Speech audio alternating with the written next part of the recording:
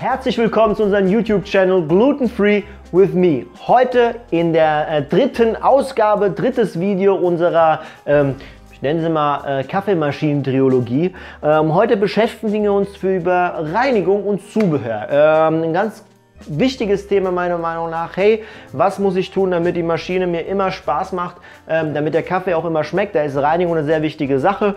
Ähm, und damit wollen wir heute mal starten. Ja, fangen wir an. Vollautomat. Ähm, äh, beim Vollautomat ist es echt toll, weil der reinigt sich von alleine. Beim An- und Ausmachen wird einmal immer gespült. Wer sieht es hier? Ähm, Reste von, von, von, von Kaffeepulver oder von, ähm, ähm, vom, vom, Kaffee, ähm, vom, vom Kaffee selber werden einfach ausgespült ähm, und damit ist die Sache gegessen. Ja, man hat äh, saubere Schläuche.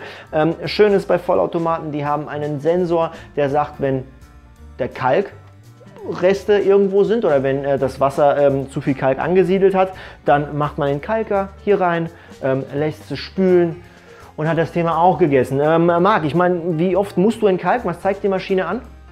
Kommt natürlich darauf an, wo du wohnst, ne? Wasser, Härtegrad und so weiter. Oh ja. Ich würde sagen, alle vier bis sechs Wochen. Okay. Kann man mit leben, meiner Meinung nach. Also alle vier bis sechs Wochen ist super.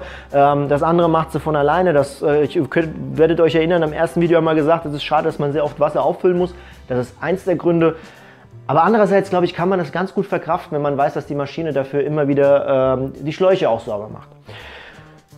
Das war es eigentlich zum Großen und Ganzen von Reinigung. Beim Siebträger wiederum ist es etwas umständlicher. Ähm, Siebträgermaschine, wie reinige ich meine Siebträgermaschine? Ähm, was ich auf jeden Fall immer mache vor einem Kaffee und äh, nach einem Kaffee sehr gerne, ich lasse einfach mal Wasser laufen, damit die Rückstände oben in der Brühgrube runterlaufen. Ansonsten nehme ich alle zwei Tage meinen Blindsieb. Ihr seht, da ähm, ist quasi, sind keine Löcher. Somit lasse ich das Wasser hier sammeln. Warte so circa 10 Sekunden, bis sich immer viel Druck auch in den Leitungen befindet. Sind die Leitungen schön voll macht das runter und wie ihr seht, kommt dann hier unten das dreckige Wasser. Im Endeffekt ist das genau das gleiche, was der Vollautomat macht beim Ein- und Ausschalten. Gleiches Prinzip, die Schläuche werden sauber gemacht. Einmal die Woche. Was ich noch zusätzlich mache bei der Maschine ist eine, ähm, eine Grundreinigung, will ich es mal nennen. Ähm, da gibt es spezielles Reinigungspulver für, da gibt es auch Tabletten dafür. Ich nehme mal das Pulver ähm, für Siebträgermaschinen. Da macht man ein bisschen was rein. Wer sieht, es sieht aus wie Waschpulver. Ja? Lässt ein bisschen Wasserlau reinlaufen, klatscht das hier rein. Und hier genau das gleiche Prinzip, 10 Sekunden laufen lassen. Ich lasse es jetzt mal nicht ganze 10 Sekunden laufen, wieder runter, wieder rein, wieder runter. Jetzt haben wir die Maschine, habe ich heute Morgen äh, frisch sauber gemacht, deswegen werden wir da nicht so viel Reste sehen, aber normalerweise kommt dann hier braunes Wasser rein. Das Ganze würde ich 10 Mal machen. Nach 10 Mal haben wir die Brühgruppe gut sauber gemacht. Lassen das hier auch ähm, laufen, so dass das Wasser rausgeht. Ja, und dann hat man die Maschine sauber gemacht. Entkalkung ist hier echt ein, ein etwas komplizierteres Thema. Ähm, ich muss sagen, wenn ich im Kessel das Kalk wegbekommen möchte, bringe ich die Maschine weg zu meinem Händler des Vertrauens.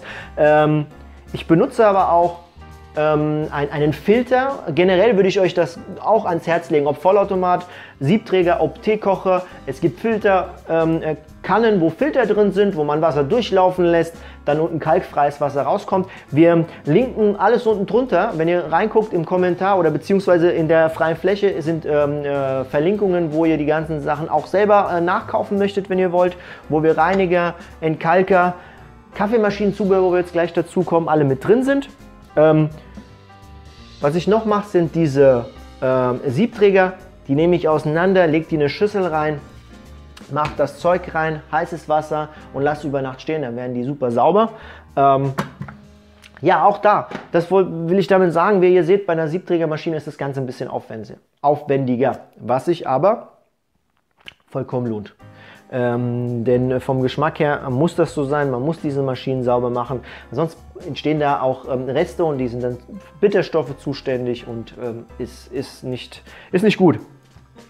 Was ich euch noch in den Link reinmache, wenn, ähm, wenn ihr reinschauen würdet, wäre eine Waage. Ich werde euch einen Tamper, der meiner Meinung nach ähm, sehr, sehr gut ist, mit reinlinken. Ähm, und meine Kaffeemühle linke ich euch auch mit rein unten drunter. Ähm, ich gucke, was noch äh, wichtig ist. Äh, ja, Pinsel braucht man immer mal zum Saubermachen. Und ansonsten ja, wären wir auch schon wieder am Ende angekommen äh, von, unserer, von unserer Serie. Es war schön, euch mal über ähm, ein echt tolles Thema, was mir sehr gefällt, äh, euch was darüber zu erzählen.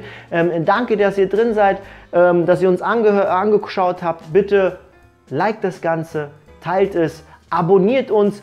Und ganz, ganz wichtig, wir würden gerne unseren Kanal mit euch zusammen aufbauen, wenn es irgendwelche Themen noch gibt, die euch interessieren, wo ihr sagt, hey Aurelio, da würde ich gerne tiefer reingehen, ähm, da würde ich gerne mehr davon wissen. Schreibt unten drunter, wir würden uns freuen, ein Video darüber zu machen. Ich wollte euch jetzt nicht so viel mit äh, Fachdingern oder mit, mit ähm, tief in die Materie reingehen, aber wenn ihr Interesse habt an irgendwas, ähm, sehr gerne. Schreibt, wir würden uns freuen und wir freuen uns schon, dass wir bald wieder kochen dürfen. Dann können wir auch was essen danach, oder Marc? Da freue ich mich. Weil jetzt haben wir alle einen Kaffeeschock hier. Aber alles gut. Hat trotzdem sehr viel Spaß gemacht. Passt euch auf, auf euch auf. Bis zum nächsten Mal. Ciao.